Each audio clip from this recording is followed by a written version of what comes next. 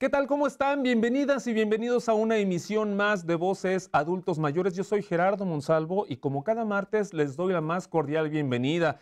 El tema del día de hoy es servicios especializados gerontológicos en Morelos. Antes de comenzar la plática con nuestra invitada del día de hoy, les voy a dar el teléfono de la oficina de producción de Voces, 2436200 y la extensión es la 158. Comenzamos.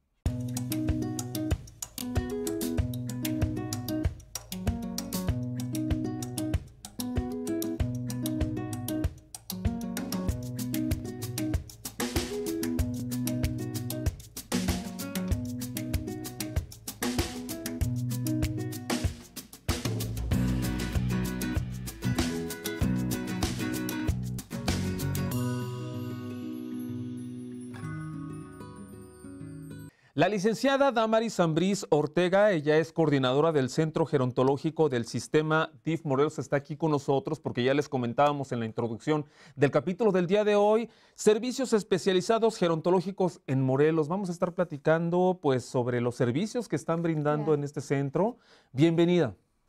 Gracias, es un placer estar aquí con ustedes y les agradecemos mucho la invitación. Pues queremos saber pues a grandes rasgos, eh, aquí en Morelos, ¿a qué situación se están enfrentando ahorita los adultos mayores en general?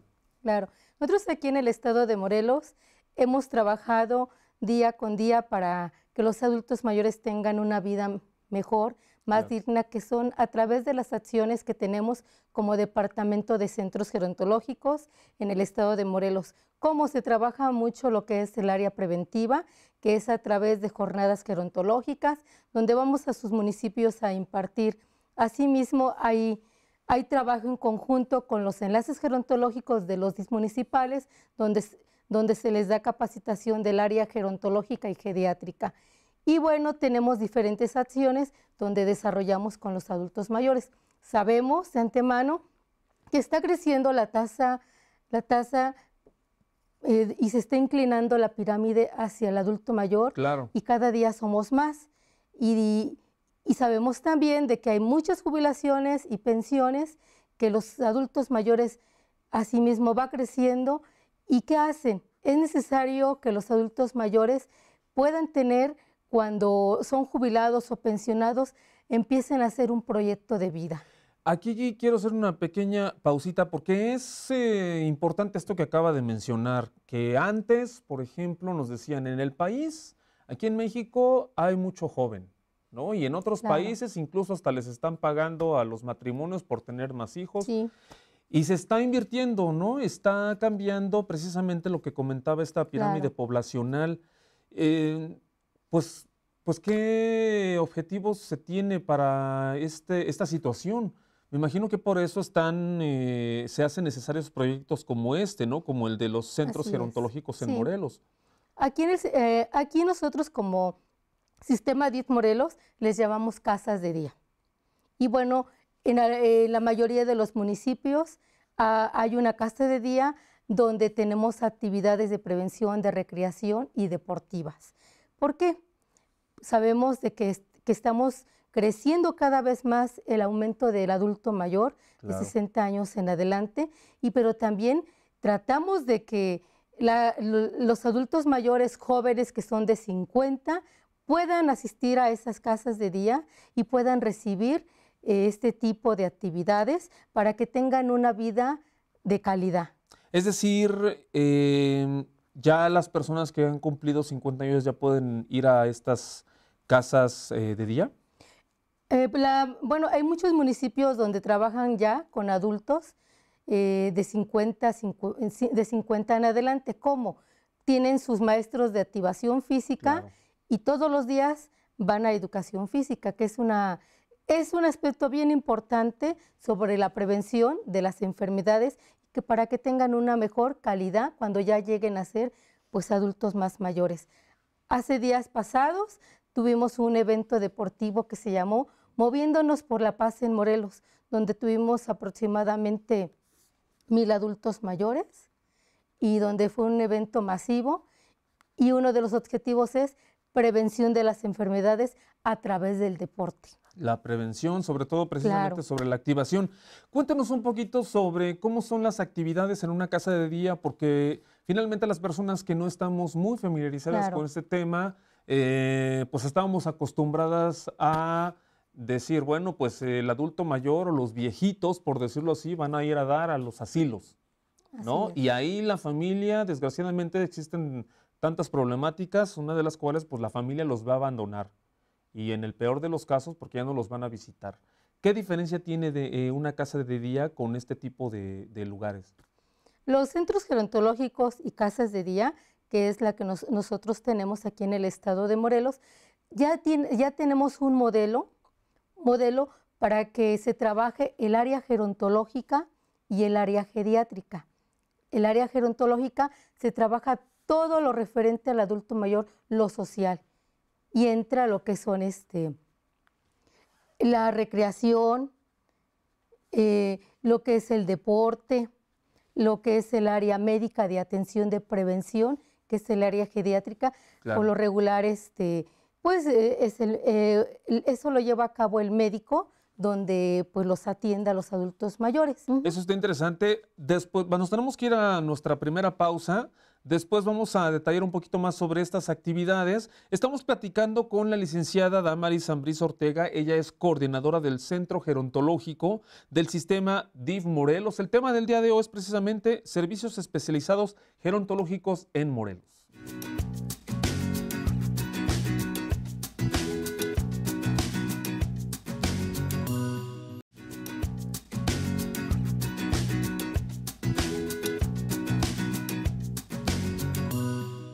Nuestro tema del día de hoy es servicios especializados gerontológicos en Morelos. Está con nosotros la licenciada Damaris Zambriz Ortega y es coordinadora del Centro Gerontológico del Sistema DIF Morelos. Antes de continuar con nuestra plática, este centro gerontológico está ubicado en Plan de Ayala número 2, Colonia Lomas de la Selva, ¿correcto? sí.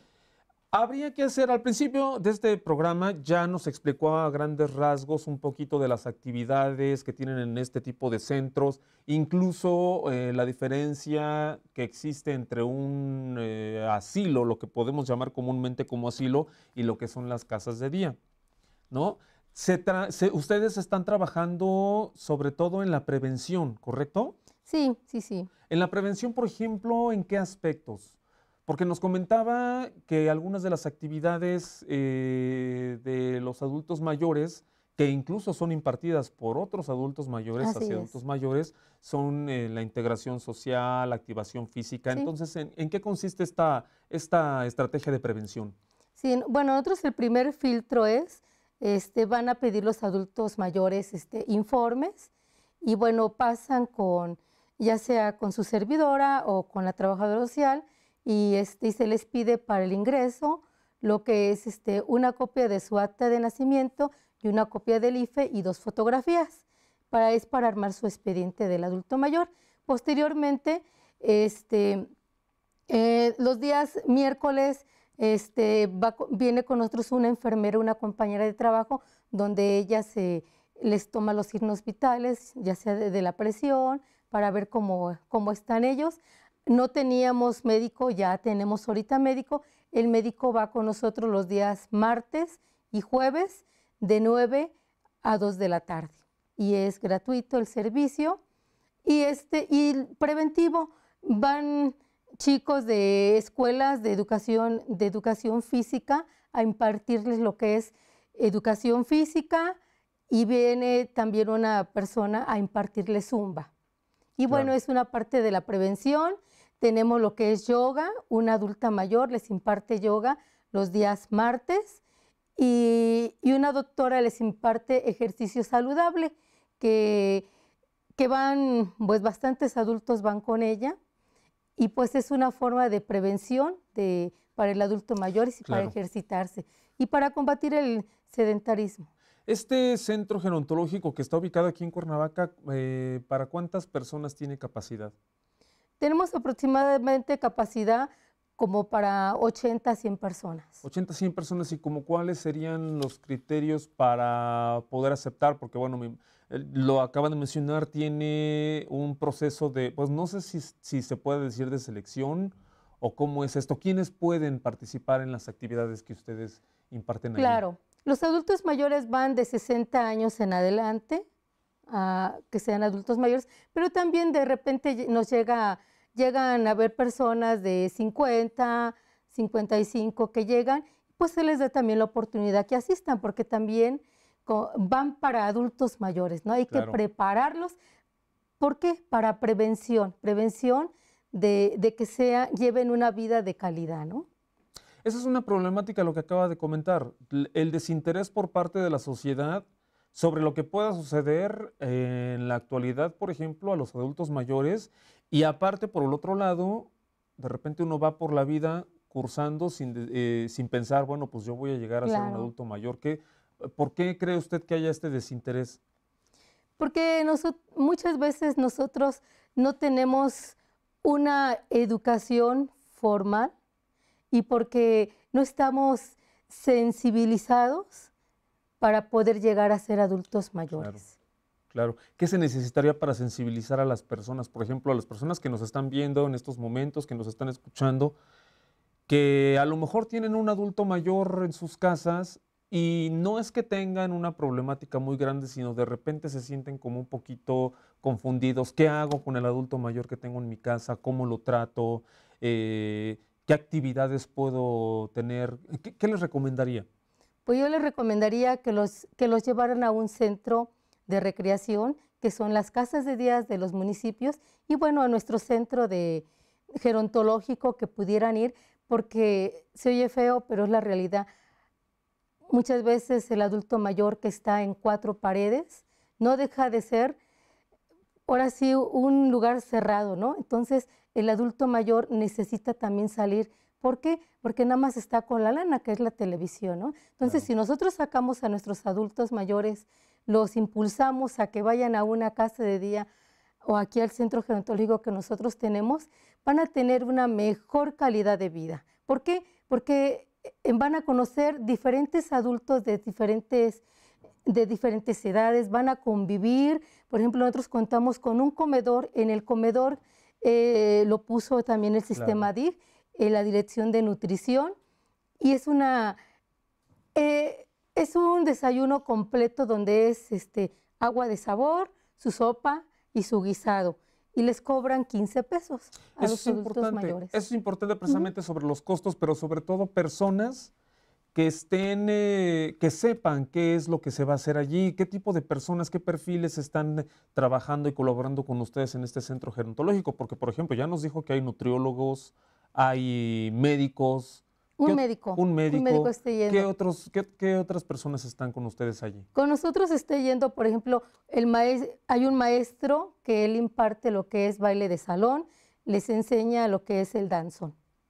También van jóvenes de educación física, eh, va una, este, personas donde son talleristas, donde les enseñan, por ejemplo, papiroflexia, hacer flores de papel, va una persona, un, una persona que les enseña a hacer eh, chiquihuites. Ella es de Oaxaca, la señora, y se le abrió el espacio para que ella pueda impartir su, este, eh, eh, son este, chiquihuites artesanales y les enseña a hacerlos con palma. Quiero aprovechar el momento, porque nos tenemos que ir a otro corte, de dar el teléfono de este centro gerontológico. Es 318-7656, ¿correcto? Sí. 318-7656 para que llamen, se asesoren, pidan informes y vean cómo pueden asistir, cómo pueden hacer uso de las actividades, de los servicios. Y también yo me imagino que eh, pueden ir como voluntarios, ¿es correcto esto? Pues estaría perfecto que pudieran ir. Nos daría muchísimo gusto para enriquecer las actividades que tenemos. Y sería muy valioso, así es que ya lo saben, voy a repetir el teléfono 318-7656. Esto es Voces Adultos Mayores, estamos platicando con la licenciada Damaris Zambriz Ortega, coordinadora del Centro Gerontológico del Sistema DIF Morelos, porque estamos platicando el día de hoy de los servicios especializados gerontológicos en Morelos. Regresamos.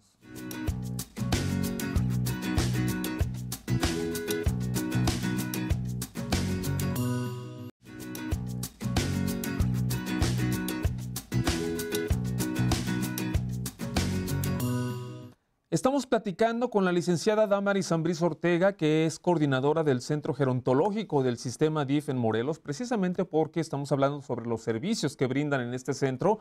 Están ubicados ellos en Plan de Ayala número 2 en la colonia Lomas de la Selva y el teléfono es el 318 76 56. Algo muy importante que nos comentaba en el primero, en el bloque anterior y también en el primer bloque es de que sus servicios son integrales. ¿Correcto? Platícanos un poquito más al respecto de eso.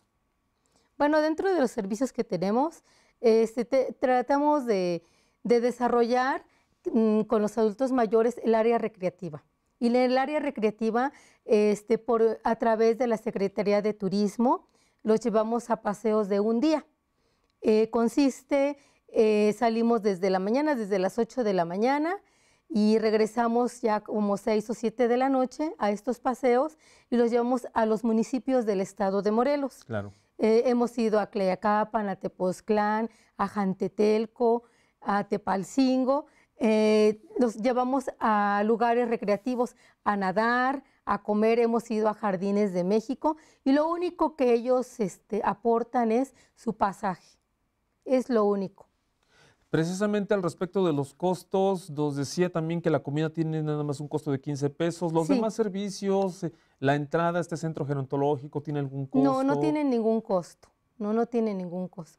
Este, algunas, este, algunas clases este, le tienen que pagar a los promotores, eh, ya sea el adulto mayor, pero es algo simbólico, pero este, son dos, dos, dos personas que que, este, que ellos, pero nosotros no, no, no, no cobramos, este, nosotros como DIF no cobramos ni un peso y se lo pagan directamente al promotor. Y a ver, por ejemplo, ¿qué preferirían? ¿No? Que a lo mejor por muy buen trato que tengan en la casa nuestros adultos mayores, si están viendo nada más la televisión, Exactamente. Y que tengan buen trato del nieto, la nieta, el hijo, la hija a que, por ejemplo, vayan y estén activos, estén haciendo ejercicio, estén cantando, a lo mejor aprendan a tocar un instrumento, a hacer los rebozos, por ejemplo. Sí. ¿No? ¿Qué preferirían? Yo creo que asistir a nuestro centro, ¿verdad? Sería muy placentero y sobre todo que conocen, conocen gente de su misma edad, ¿no? Hacen redes sociales, ¿no? Claro. Es una parte importante. Nosotros hemos visto cómo ha crecido el centro. Empezamos con con pocos adultos mayores y ahorita ya tenemos eh, entre 40 45 adultos mayores. Ha crecido eh, nuestro centro y, pues gracias a la gente y pues gracias a las actividades que se imparten y pues también a estos paseos, ¿no? Que nada más pues se les cobra el costo de, su pasaje. Claro. Nada más. Hay, un, hay algo importante porque finalmente, pues como hay de todo en esta vida, los adultos mayores de repente empiezan a perder ya algunas capacidades, entre ellas las capacidades motrices. ¿Qué pasa con las personas adultas mayores que no pueden ya caminar para que puedan asistir a las actividades que ustedes dan? No sé si tengan algún servicio o qué se les recomienda para que puedan salir de sus casas y a lo mejor no tienen quien las lleve. ¿Qué sucede en estos casos? Bueno, mire, varios hijos de estas personas han, han ido con nosotros nos han ha pedido informes que si pueden ingresar, también del área cognitiva, que son las demencias, y les hemos dicho este, que pueden asistir. Eh, eh, les, decimos, vayan, eh, quédense ustedes un familiar con ellos para que ellos puedan este, ver qué actividades les gusta y aunque no puedan venir todos los días, que vengan unos dos, unas dos veces a la semana, sería pues muy gratificante para ellos, ¿no? Para que también no se aburren en sus hogares. Y pues algunas, algunos hijos llevan a los papás, a las mamás, unas dos veces a la semana y los acompañan. Este, nos, nos hemos, hemos tenido en algunas personas que sí tienen problemas de alguna demencia, eh, van, este, los llevan, este, y posteriormente va pasando el tiempo, se van quedando ellos solitos y ya posteriormente cuando terminan las actividades los van a recoger. Claro. Algo también muy importante con lo que nos quedamos en el bloque anterior sobre el voluntariado. Eh, ¿A dónde se tienen que comunicar las personas que nos están viendo y que nos están escuchando que digan yo quiero, eh, tengo mucho tiempo libre o quiero aportar mi granito de arena? eh, ¿qué es lo que tienen que hacer? Pues en este caso necesitarían ir al centro gerontológico y pues hablar con la directora, la licenciada Antonia Castillo Ward, y para que ella este, pues platique con ellos, ¿no? Por ejemplo, ¿como qué tipo de personas podrían ir? ¿Qué tipo de perfiles están buscando? Pues serían psicólogos, maestros, que alguna actividad o manualidad les pudieran enseñar, pláticas. Nos daría mucho gusto que estuvieran con nosotros. ¿Podrían ser muchachos que estén, muchachas y muchachos que estén haciendo su servicio social? Excelente, claro que sí. ¿En alguna comunicación humana? comunicación humana, psicólogos, lo que es trabajo social. Pues bueno, no sé si tendría algo más que eh, agregar, la invitación a las personas que nos están viendo y que nos están escuchando. Pues gracias por el espacio que nos dio para esta entrevista. Asimismo, el día 18 nosotros tenemos nuestra posada navideña. Si gustan asistir nuestros adultos mayores que nos están viendo, pues estaría, son bienvenidos, los esperamos. Pues agradecemos muchísimo a la licenciada Damaris Zambrisa Ortega, coordinadora del Centro Gerontológico del Sistema DIF Morelos, por esta plática. Muchísimas gracias. Muchísimas gracias por aceptar nuestra invitación. Y pues bueno, a todos ustedes que estuvieron presentes a través de eh, radio y televisión, pues muchísimas gracias. Nos vemos y nos escuchamos en una emisión más de Voces.